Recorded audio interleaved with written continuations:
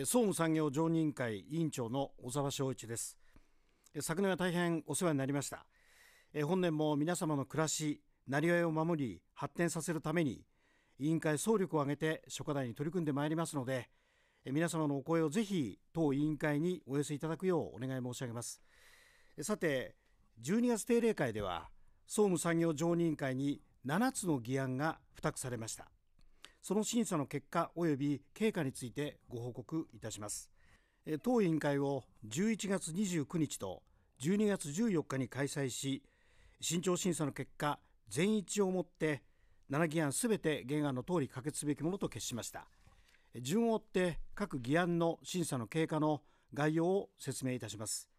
議案第1号塩尻市一般職の給与に関する条例等の一部を改正する条例については人事院勧告に基づく国家公務員の給与の改定に準じて市の条例を改正するもので若年層の一般職の給与を引き上げるほか在宅勤務等の手当の新設また常勤特別職及び議会議員の期末手当支給割合を引き上げる内容との説明を受けました。委員から在宅勤務手当はなぜ新設されたのかとの質問に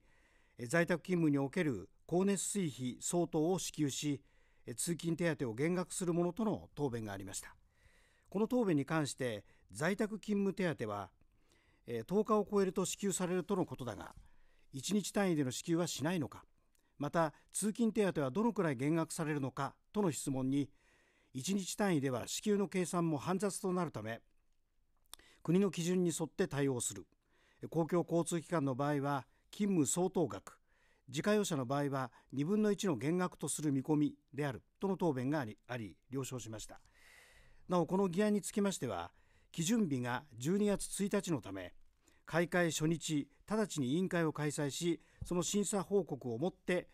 本会議で可決しています。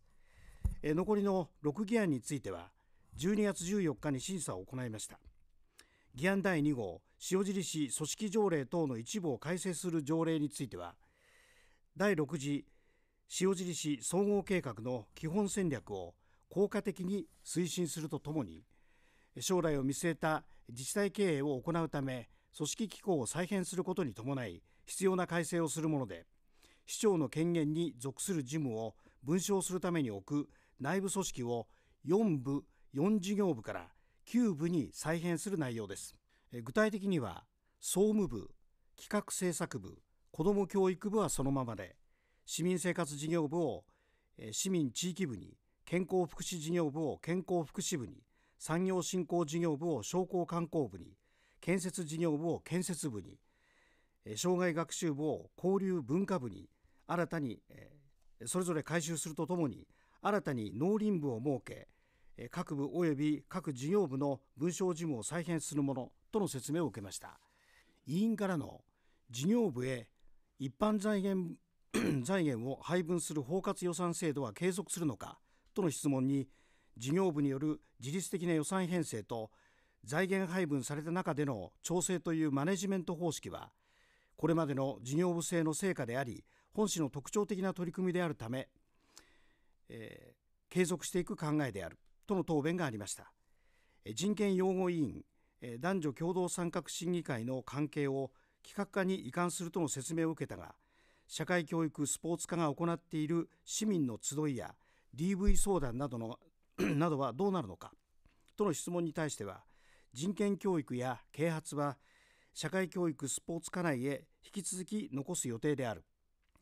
豊かな心を育む市民の集いなどは双方で連携して進めるよう検討を行っていく。DV 等女性相談については市民目線で相談がしやすい部署で行えるよう検討していきたい。との答弁がありました。またゼロカーボンや GX 推進プロジェクトはどのような位置づけや文章事務になるのかとの質問に当分の間設置する組織の組織規則で位置づけていく予定。文章事務としては生活環境課環境係の地球温暖化対策に関することや再生可能エネルギー省エネルギー等に関することなどを移管し部局横断の取り組みを推進することを想定しているとの答弁がありました。さらに子ども教育部は、保育園等の、児童福祉に関する事務もあるが認定こども園は教育に関わる、教育委員会との住み分けなどはどのようになっているのかとの質問には、保育所は従来、児童福祉の位置づけが強かったが認定こども園などの制度創設など幼児教育との関連も近年強くなっており完全に分離した運営は不都合となっている。本市では子ども教育部として市長部局教育委員会また福祉事務所などのなどとの併任を行うなど、えー、などにより対応しているとの答弁がありこれを了承いたしました。議案第5号塩尻市地場産業振興センターの指定管理者の指定については、え、塩尻市地場産業振興センター暮らしの工芸館の指定管理者を指定することについて地方自治法の規定により議会の議決を求めるもので塩尻市地場産業振興センターの指定管理者これに一般財団法人塩尻基礎地域地場産業振興センターを指定するものとの説明を受けました。委員から地場地場産センターのワインと日本酒の品揃えは市内でも群を抜いており大変素晴らしいがワインエキスパートなど資格を持った職員がいることによりワインや日本酒の良さをアピールも可能えすることも可能となると、え人的配置の考えはないかとの質問に、え地場産センターではワイン日本酒の知識を得て販売促進につなげることは重要と認識しており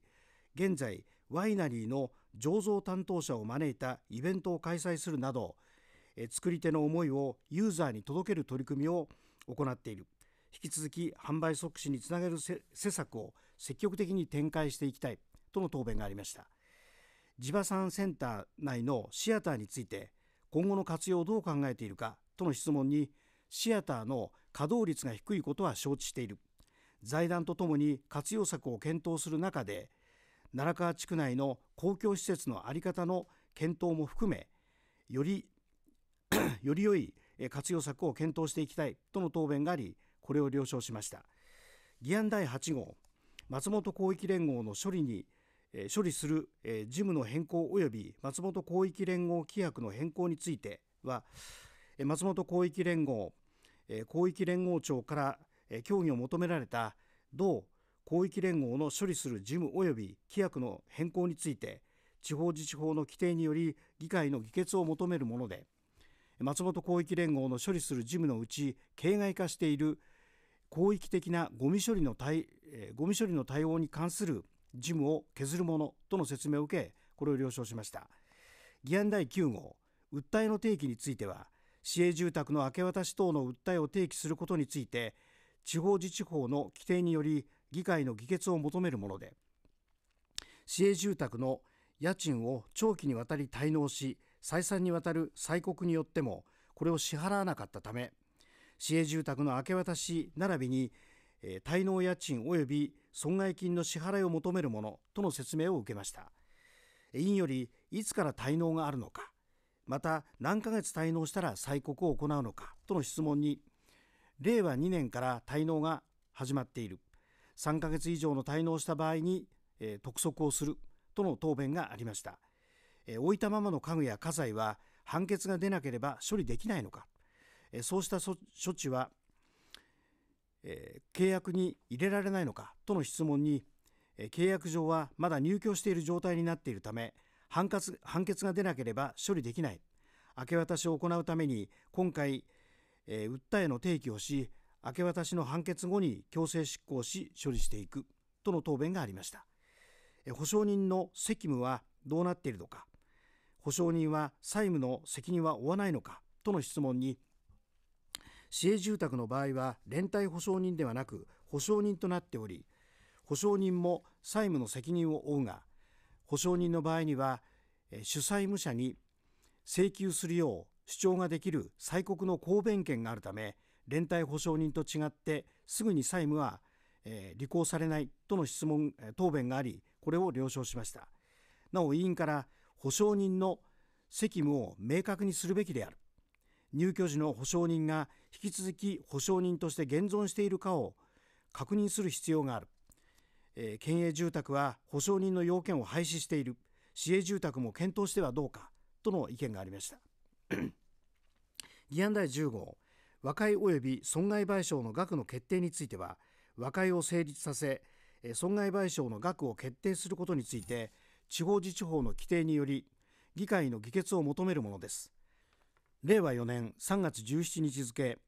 私有財産売買契約に基づき市が相手方に売却した広岡野村の土地において契約時に確認できなかった埋設物が売却後の造成工事中に発見されその処分費用として請求された308万円について市は相手方に対し解決金として154万円の損害賠償額を支払う義務があることを認め令和5年12月29日までに支払うものとの説明を受けました。委員から以前の所有者から寄付を受けるとき埋設物の有無についての説明はあったのかとの質問に対し寄付を受けたときにその説明はなかった。また市が売却する時の関係者への聞き取り調査では埋設物があるとすれば浄化層くらいで他の埋設物があるとの話はなかったとの答弁がありました。相手方の合意はとの質問に合意しておりそのための合意書を取り交わし議決をもって成立することとなるとの答弁がありこれを了承しました。議案第11号指導路線の廃止及び認定については指導路線の廃止及び認定について道路法の規定により議会の議決を求めるもので3路線を廃止し新たに8路線を認定するものとの説明を受けました。委員から歯科大東の交差点はどういう形になるのかとの質問に対しこれまでは変則5差路の交差点形状であったが一部車両規制をかけて交差点から進入できないようにし十字路となるよう形状変更を行ったとの答弁がありこれを了承しました。また総務産業常任委員会の所管事務調査として協議会において高ぼっち東山線の復旧工事の進捗状況を建設事業部から説明を受けました。今年5月の連休までには開通できる見通しです。多くの皆さんが訪れる高ぼっち2年越しの工事がようやく終了いたしました。えー、終了いたします、えー、ご期待ください、えー、以上申し上げ総務産業常任委員会の審査報告といたします。